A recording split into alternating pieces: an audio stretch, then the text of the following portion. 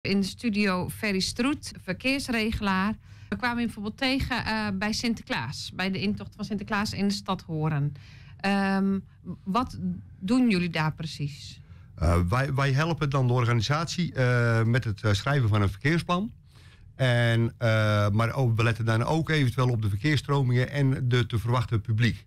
En op, op, basis van het laatste maken we dan een, verkeersplan. En dan gaan we kijken hoeveel publiek wordt er verwacht en wat moeten we dan afzetten om uh, het evenement zo veilig mogelijk te laten verlopen, zodat uh, er geen verkeer door het publiek heen rijdt. We hebben natuurlijk ook werkzaamheden langs de weg. Wat doen jullie daar precies? Ehm, hebben we te maken met een hele korte werkzaamheid, zeg maar korter dan drie uur of vier uur. Dan hebben we weer andere materialen nodig wanneer, wanneer het een paar dagen duurt. Duurt het een paar dagen, ja, dan komt er een heel groot verkeersplan om de hoek kijken. En daar zijn dan ook weer uh, CLW-richtlijnen uh, komen daar bekijken.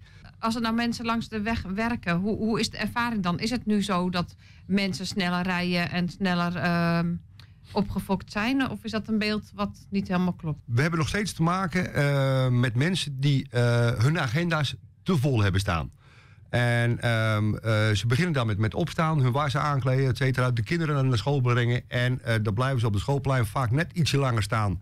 Uh, te praten met, met andere mensen. En dan springen ze in de auto en oh shit, het is alweer zo laat. Dus ik moet even snel naar mijn werk toe. En dan vergeten ze rekening te houden met de wegwerkzaamheden aan, aan, aan de weg. waardoor ze dan weer te gehaast langs de werkzaamheden willen, rijden. En, ja, en daarvoor zijn de, tegenwoordig de uh, te maken uh, wegafzettingen noodzakelijk. Uh, en dan heb je ook, ik weet niet of jullie daar ook bij betrokken zijn, als er bijvoorbeeld um, ongelukken gebeurd zijn of andere dingen op de weg. er is bijvoorbeeld een trekker omgerold of iets anders. zijn jullie daar dan ook aanwezig?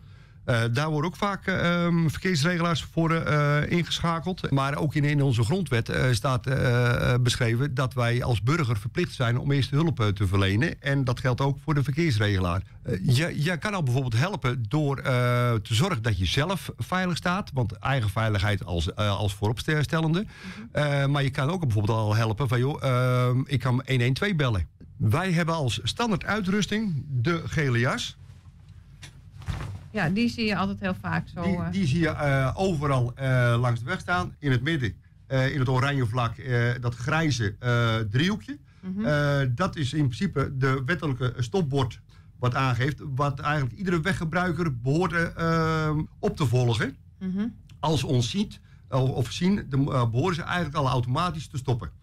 Tenzij wij eh, anders aangeven dat we dan mogen doorrijden bijvoorbeeld. Mhm. we, we hebben uh, vier verschillende typen verkeersregelaars. We hebben nog, uh, nog steeds de klaar over, wel mhm. bekend bij de, bij de scholen. Uh, die helpen dan de kinderen oversteken bij de zebrapad. En dan staan ze met zo'n uh, spiegeleitje langs de weg. Oh, die bestaan nog? Ja, die bestaan ah. nog. zij krijgen een twee uur durende instructie van de oma Gent. Mhm. Dan hebben we de evenementenregelaar. Die uh, moeten een e-learning volgen uh, op uh, internet. En daar zijn ze ongeveer drie kwartier mee bezig. En dan kunnen ze geslaagd zijn.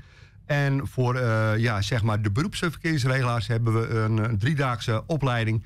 En als ze die positief hebben gevolgd, dan kunnen ze ons helpen. En we kunnen altijd mensen gebruiken.